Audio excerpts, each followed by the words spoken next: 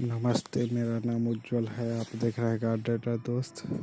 आज आपको बताएँगे दिनथर प्लांट लगाने की विधि। ये दिनथस का प्लांट है। आपको इसका छोटा सा अगर प्लांट लेना चाहेंगे तो तीन या चार रुपए में मिल जाएगा। पाँच रुपए तक भी कहीं कहीं नर्सरी में मिलेगा। आपके इधर का नर्सरी के हिसाब से होगा। इसका छोटा ही प्लांट लगाइएगा, लेकिन छोटा भी ये पता नहीं रहेगा जो कौन कलर का कौन होगा। इसमें भी बहुत सा मल्टीपल कलर में आते हैं। ये एक बार ब्लूम पे आ जाता है तो बहुत सा अच्छा लगता देखने में लगता है। एक पॉट वाला लीजिएगा तो पच्चीस या तीस रुपए में।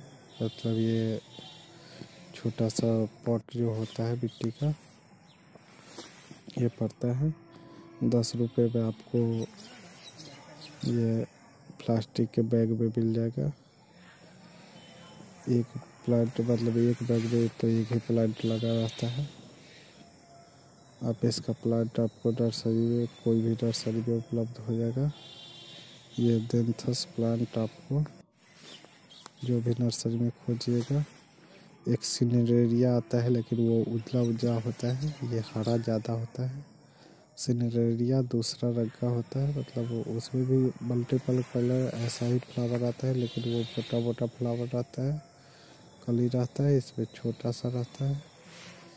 ये वन पेटल डबल पेटल ये वो सिनेरिया तो गुलाब के तरह भी होने लगता है। ये वैसा नहीं रहता है। इसका देखिए, ये जितना भी अच्छा इसमें हमको सबसे अच्छा लाल वाला लगता है। लाल कलर, रेड, पूरा रेड में ऐसे तो एक दो कलर आपको कहीं मिल जाएँगे। रेड वाला बहुत कम रेयर में मिलता है। वो भी किसी किसी नर्सरी में ज़्यादा उपलब्ध रहता है। आपके इधर के नर्सरी के हिसाब से वो मिलेगा। इसका प्लांट लगाने इजी टू ग्रो प्लांट होता है। एक बार लगा दीजिए, उसके पीछे से फिर प्लांट जरब जाता है। और गर्मी में आप बचा लिए तो बच जाएगा। ज़्यादातर मर जाता है, लेकिन अगर शेड एरिया में चला जाए आपका गमला तो ये बच भी जाता है।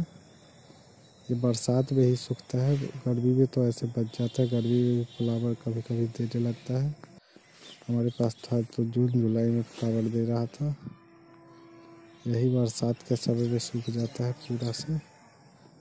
अगर बरसात में आप बचा लिए तो वो बच जाएगा प्लांट डेंथस का प्लांट आपको किसी भी नर्सरी में, ये आपको तीन या चार रुपये में मतलब छोटा वाला, जो कि एकदम छोटा रहता है, वो एक महीना बाद फ्लावर देगा। इसके एक गमला में एक ही प्लांट लगाए। चाहे दो तीन प्लांट लगाइएगा तो ज़्यादा फूसी बच जाएगा। और दो चार बार पिंच कर दे, जिससे और घना बन जाए। यह सब पिंच किया हुआ प्लांट है, जिससे इतना घना, इतना फ्लावर दिए हुए हैं मतलब फ्लावर देने के लिए है। यह सब में ज़्यादा खाद पड़ता है, जो जैसे तुरंत फ्लावर आने में कोई दिक्कत ना हो। आप जितना खाद ज़्यादा दीजिएगा मतलब ज़्यादा अब ऐसा नहीं जो यूरिया, डी दे दीजिएगा। वर्मी कंपोस्ट पे ही लगाइए।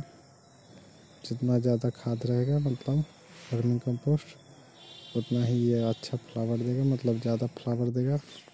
ये लोग को दो तीन महीना फ्लावर दे के सूख भी जाना रहता है।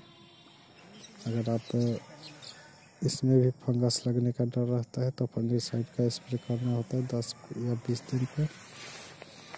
लेकिन यही है जो इसका फ्लावर ज़्यादा दिन तक टिकता रही। है एक फ्लावर जैसे ही हटे तो आप उसको पिच कर दे मतलब हटा दे वहाँ से। नहीं तो वो बीज बढ़ने में अपना समय व्यतीत करने लगता है। ज़्यादातर में तो बीज नहीं बनता है। और एक फ्लावर के चक्कर में पूरा प्लांट भी सूखने के कगार पे आ जाता है। पानी तो रोज़ाना देना होगा। पानी के लिए तो ज़्यादा ओवर वाटरिंग भी नहीं खोजता है। ज़्यादा ओवर वाटरिंग आपको इसको मतलब धूप में रखना होगा। जितना देर धूप हो, ठंड में, उतना देर धूप में आप इसको रखें, इसके प्लांट को। इससे इसका प्लांट लग जाए। इसका प्लांट ज़्यादा देर धूप में भी रह सकता है और ठंड का धूप तो ऐसे भी कभी होता है। ये सिर्फ़ इस वजह से फ्लावर देते देते आप इसको अगस्त से लेके सितंबर मतलब वही अगस्त सितंबर से चालू लगाना करेंगे तो वही फरवरी तक मतलब जनवरी तक लगा सकते हैं इसका प्लांट उसके बाद प्लांट मतलब सीड से भी लगा सकते हैं। अभी इसका समय है सीड से भी ग्रो कर सकते हैं।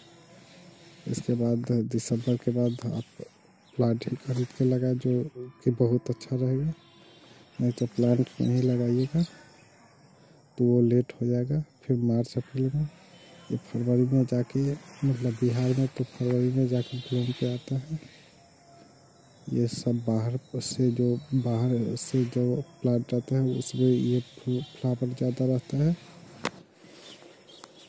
इसको अगर एल पी के उन्नीस उन्नीस है तो आप दस दिन पे स्प्रे करते रहें।